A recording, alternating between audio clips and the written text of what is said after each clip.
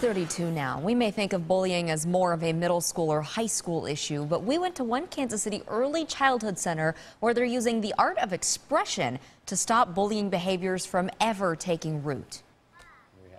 For Alex Espy. We have our standing man, we have our glass, and we call this our personal space. Yeah, that's right, our personal space. engaging these preschoolers is fun. Raise your hand, remind me, what is personal space? And it's even better with lessons on what he calls the nuts and bolts of being human. Can voices break people's personal space, Henry? If you scream,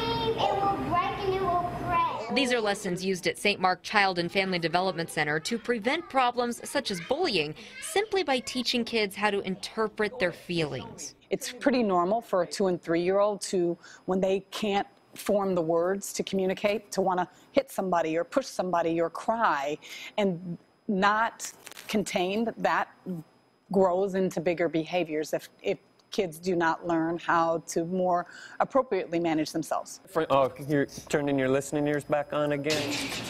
So, starting as young as six weeks old, kids at St. Mark are taught lessons like these coping skills and self regulation, mixed with art and expression, sprinkled throughout their learning. if they can learn these basic concepts, such as personal space, at three and four years old, they're going to be better equipped to handle a bullying situation once they get into elementary school and things like that.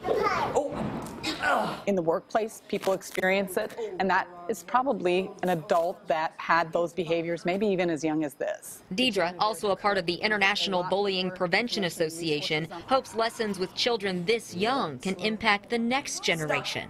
This world would be a whole lot better place if we all looked out for our fellow neighbor a little bit more.